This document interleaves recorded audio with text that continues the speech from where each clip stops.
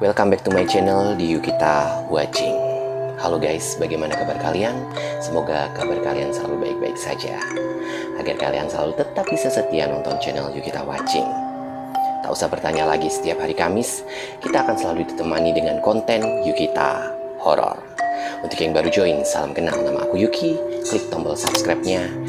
Dan untuk kalian yang mau follow Yuki di Instagram, silahkan follow Instagram di bawah ini, yukimon.dj. Tidak terasa kita sudah ada di pertengahan bulan.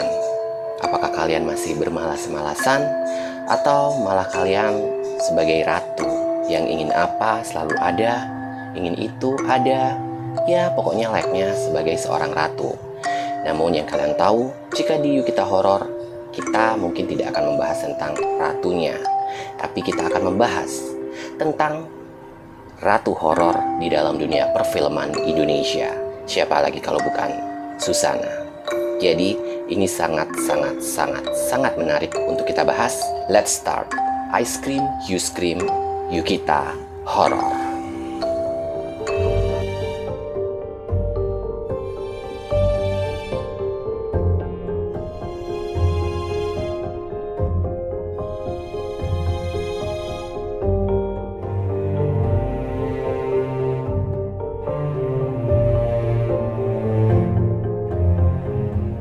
Sosok Susana adalah ratu di film horor Indonesia. Siapa yang tidak tahu tentang reputasi sosok wanita yang sering kita panggil Suketi di setiap dunia perfilman horor. Apalagi perfilman Susana ini sudah sangat melegenda. Saking melegendanya, banyak sekali hal-hal mistis yang selalu disangkut pautkan dengan Susana. Di Yukita Horror kali ini, kita akan membahas tentang fakta-fakta Susana. Namun sebelumnya, tidak afdol jika kita belum mengenal siapa Susana tersebut. Ratu horor dari Indonesia ini memiliki nama lengkap Susana Marta Frederica van Os. Adalah wanita berdarah campuran Jerman, Indonesia, dan Belanda. Darah senimannya sepertinya sudah ada dari keluarganya. Ayah dari Susana adalah seorang pemain sandiwara dan ibunya adalah seorang penyanyi. Cukup singkat itu saja kita mengenal sosok Susana. Karena seperti yang Yuki bilang sebelumnya, hal ini sangat menarik untuk kita bahas. Jadi langsung saja inilah dia fakta-fakta dari Susana. Fakta Susana yang pertama adalah ratu film horor. Gengs, almarhumah Susana adalah bintang film horor yang sangat legenda di era 1950-an hingga tahun 1991-an. Namun, sempat berhenti dan beliau memutuskan kembali memulai bermain film horor pada tahun 2008 dan menjadi film terakhir untuknya. Sosok Susana benar-benar dikatakan sebagai legenda bintang horor karena mampu menyihir para penonton dengan karakter mistis yang ditunjukkan di dalam film-film yang pernah dimainkannya. Adegan yang paling terkenal, gengs, kalau kalian ingat adalah saat Susana membeli sate sebanyak 200 tusuk di film Sundel Bolong.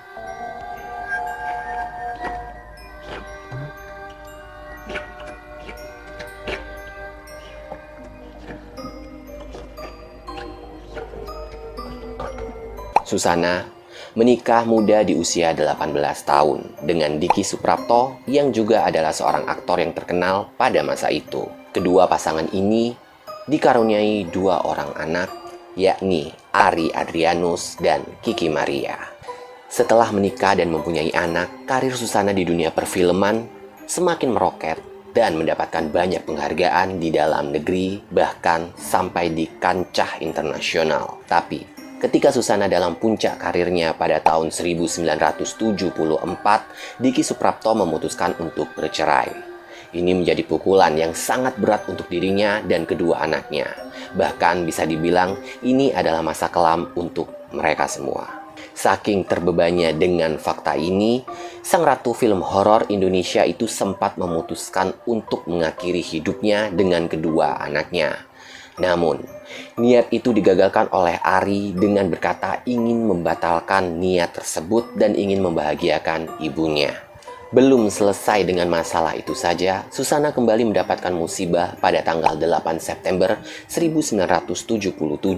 Ari Adrianus Putra sulung dari Susana ditemukan tewas di depan rumahnya setelah dikeroyok oleh orang-orang yang tidak dikenal. Saking terpuruknya, dengan masalah yang ia hadapi, ada lebih dari 30 tawaran film ia tolak. Tetapi Susana kembali bangkit dari masa kelamnya pada tahun 1981 dengan judul film Sundel Bolong. Kemudian, pada tahun 1983, Susana memutuskan untuk menikah dengan Cliff Sangra. Pada saat menikah, menurut Cliff, Susana adalah sosok yang berbeda 180 derajat, berbeda dengan yang ada di filmnya. Karena Susana adalah sosok yang ceria, supel, dan sangat cerewet. Walaupun terkadang Susana sering berdiam diri di dalam kamarnya. Wow, memang ya. Ketika kita on cam ataupun off cam, ketika kita ada di depan layar atau di belakang layar, selalu seperti ya berbeda. Itulah dunia entertain. Bagaimana menurut kalian? Tulis di kolom komentar. Next. Fakta dari Susana selanjutnya adalah kebiasaan aneh ketika di rumah. Semasa hidupnya, Susana sering banget ngelakuin kebiasaan yang aneh. Kebiasaan-kebiasaan yang tidak lazim dilakukan oleh orang-orang pada umumnya. Contohnya, dirinya sering sekali memakan bunga melati. Bunga yang mempunyai aroma yang sangat khas dan identik dengan dunia gaib. Katanya ya gengs, Susana ini sering banget makan bunga melati sebanyak satu piring di setiap harinya. Bahkan, Bukan cuma di rumah saja loh, Susana memakan bunga melati. Dirinya juga kerap kali makan bunga melati saat ada di lokasi syuting. Diyakini kalau memakan bunga melati bisa membuat kulit menjadi putih dan kencang. Biasanya Susana ini memakan bunga melati itu dalam keadaan masih mentah. Kemudian hal yang gak biasa yang dilakukan oleh almarhumah yang tidak wajar adalah dia bersahabat dekat dengan ular peliharaan di rumah. Yang kita tahu semua bahwa hewan yang satu ini memang identik banget dengan yang namanya sekali lagi dunia gaib.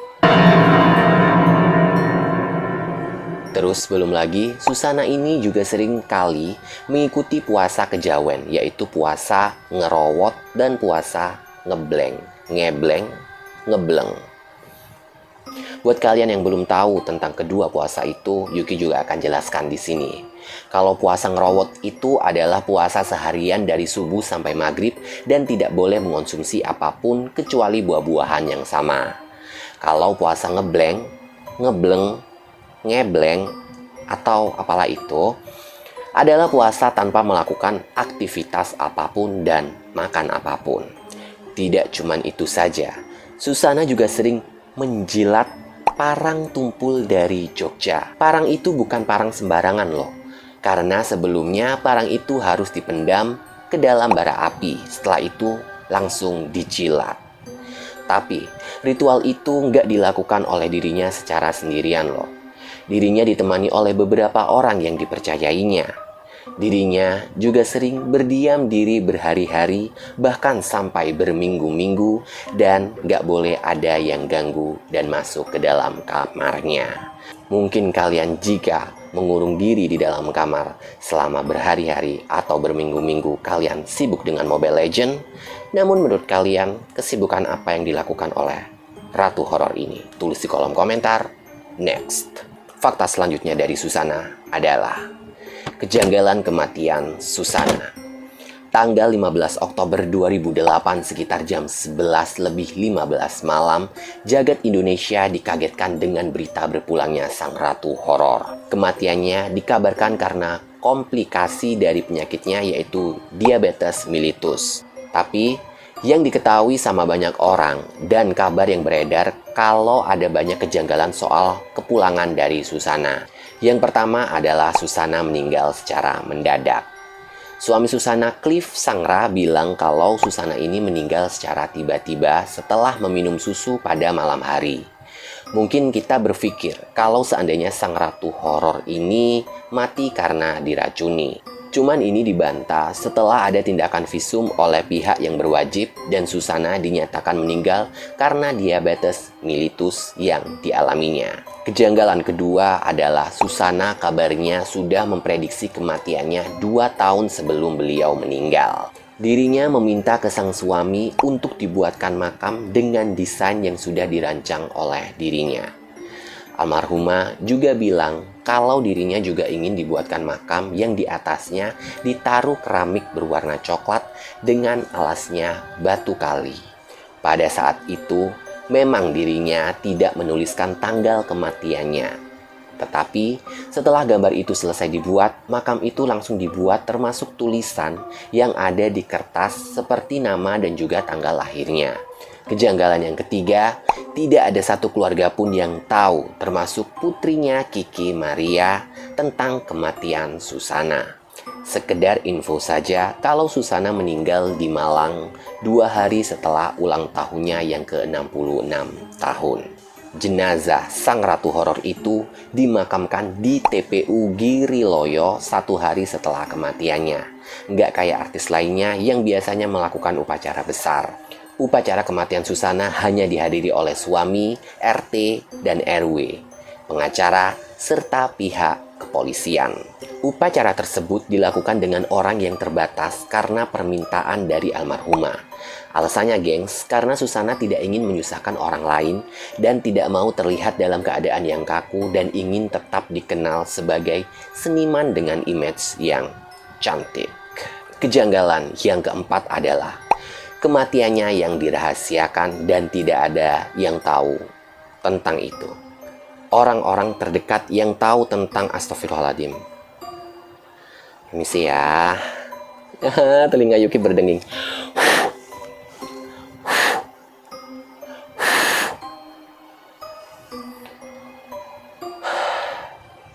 Permisi, nggak nggak ganggu lagi ya.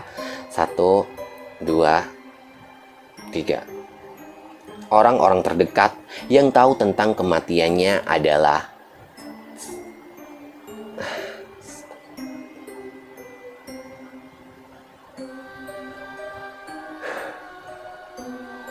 kayak ngerasa langsung dingin gitu loh di belakang.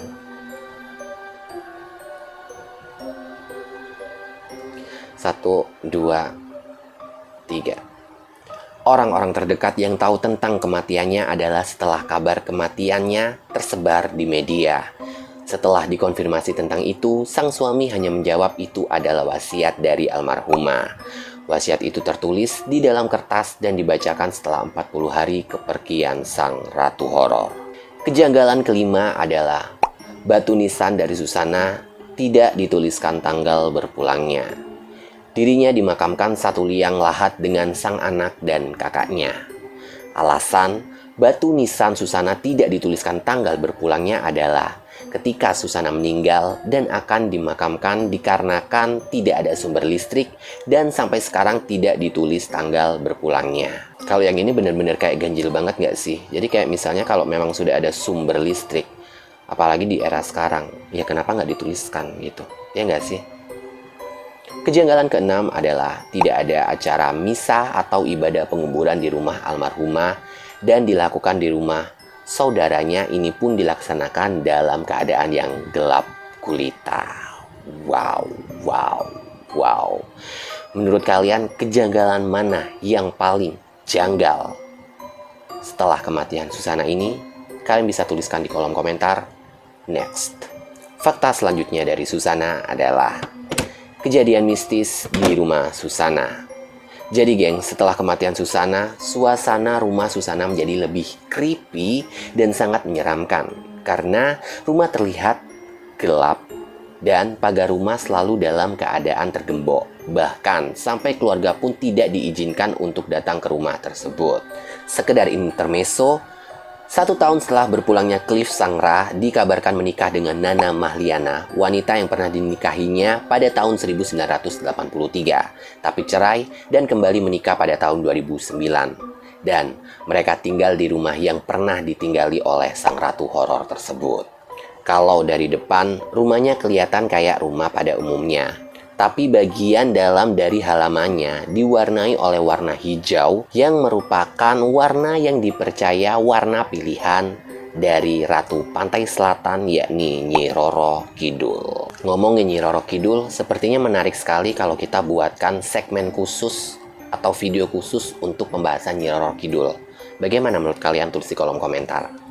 Kita langsung kembali lagi ke topik. Kita langsung ke bagian yang paling seram di rumah itu, yaitu adalah kamar peninggalan almarhumah. Kamar itu memang dibiarkan kosong karena tidak ada satu orang pun yang berani masuk ke dalam kamar Susana. Ada hal mistis yang terjadi di kamar itu, gengs. Katanya sang suami Cliff Sangra mengaku sering melihat bayangan Susana duduk di kursi pojok kamarnya. Ada yang lebih nyeremin lagi. Setelah tiga hari berpulangnya sang ratu horor itu, Cliff Sangra juga mengaku telah melihat sosok Susana berdiri dengan baju coklat di depan rumah mereka sambil bilang, "Selamat tinggal." Cliff juga bilang bahwa dia pernah melihat sosok genderuwo yang sangat besar yang punya sayap di rumah mereka dengan wajah dan hidung yang runcing. Kemudian, Cliff berkata bahwa rumah mereka yang di Magelang pernah didatangi 60 sampai 70 ekor ular sebelum Susana meninggal. Hal aneh selanjutnya juga dialami oleh istri Cliff Sangra yaitu Nana Mahliana. Nana Mahliana mengatakan kalau rumah mereka mengalami mati listrik. Tapi tiba-tiba satu alat elektronik yang hidup di rumah itu hidup dengan sendirinya. Dan itu adalah kipas angin yang ada di dalam kamar Susana. Nana juga mengaku bahwa sempat mengalami kejadian saat membersihkan kamar Susana. Dirinya tidak pernah mau membersihkan kamar itu sendirian. Biasanya Nana ditemani oleh Cliff ketika sedang membersihkan kamar Susana tersebut. Pada saat itu, Nana sedang membersihkan kamar Susana, tepatnya meja riasnya Susana. Dia melihat sepasang kaki di bawah meja rias tersebut. Kemudian hal aneh selanjutnya, selama Susana masih hidup, Cliff berpisah dengan almarhumah ketika Susana sakit tapi kamarnya bersebelahan dan terpisah oleh tembok saja. Mereka membuat perjanjian di mana kalau Susana membutuhkan bantuan, apa pun itu, ia cukup mengetuk dinding kamarnya sebanyak dua kali. Tapi gengs, yang anehnya, setelah kematian Susana, ketukan di dinding tersebut sering kali terdengar sampai saat ini. Itulah dia fakta-fakta tentang sang ratu horor yaitu Susana. Menurut kalian, fakta mana yang paling creepy bisa dituliskan di kolom komentar. Atau menurut kalian, kalian masih mempunyai fakta-fakta yang belum Yuki bahas di video kali ini, kalian bisa kasih tahu Yuki di kolom komentar. Atau bahkan kalian mempunyai saran atau konten horor lainnya, kalian bisa langsung kirimkan via email di yukita.request@gmail.com. Yuki tidak pernah lelah, capek untuk mengingatkan kalian, klik tombol subscribe-nya dan nyalakan lonceng notifikasinya agar kalian selalu update dengan video-video terbaru dari Yukita Watching. Like jika kalian suka dengan videonya, jangan di dislike jika kalian tidak suka videonya. Cukup share ke teman-teman kalian agar kita semua bisa berkumpul di dalam kolom komentar. Saya Yuki, pamit undur diri, see you next video.